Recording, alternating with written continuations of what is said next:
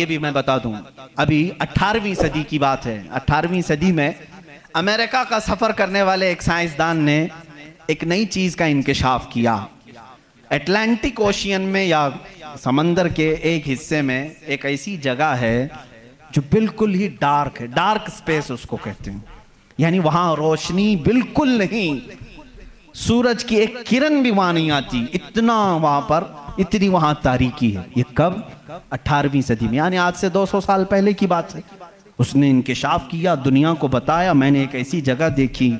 बहुत ही डार्क है, बहुत अंधेरा है। वो जब वापस आया तो रब्बानी ने सूर नूर की कुरानी आयतें पढ़ी।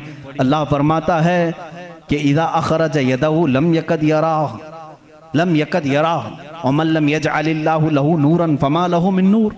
अल्लाह फरमाता है, हमने कायनात में एक ऐसी जगह रखी है कि उस पर अंधेरियों पर अंधेरियाँ हैं। अगर तुम हाथ भी निकालोगे तो हाथ भी नज़र नहीं आएगा। हाथ भी नज़र नहीं आएगा। ये फिर उसने ये सोचा, शायद हो सकता है प्रॉफेट मोहम्मद सल्लल्लाहु अलैहि वसल्लम समंदरों का सफ़र बहुत करते होंगे। उनके समंदरों के सफ़र में शायद कभी ये जगह आ गई होगी। इसलिए उन्होंने अपने मन से कुरान में ये लिख दिया होगा।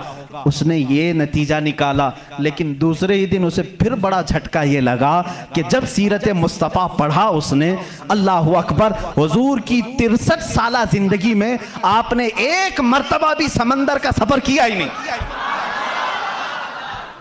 ये बहुत बड़ा झटका लगा कि वो मोहम्मद सल्लल्लाहु अलैहि वसल्लम कभी पूरी ज़िंदगी में समंदर का सफ़र किए ही नहीं। मेरे अजीजों, इस बात में गलत फहमी में ना आना कि वह समंदरों को नहीं जानते थे। वो मेराज का सफ़र करने वाला रसूल समंदरों को ज़रूर जानता है।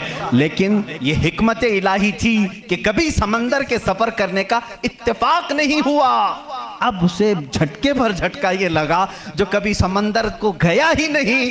वो अगर एटलांटिक ओशियन में मौजूद डार्क स्पेस को बताता है तो ज़रूर वो अपने पेट से नहीं बता रहा है, वही उसको बताया होगा जिसने डार्क स्पेस बनाया है। यही अल्लाह रब्बुल इज़्ज़त के वहदानियत की निशानियाँ हैं, उसके वजूद की निशानियाँ हैं। कुरान पढ़ो, इसमें बहुत सारी चीज़ें।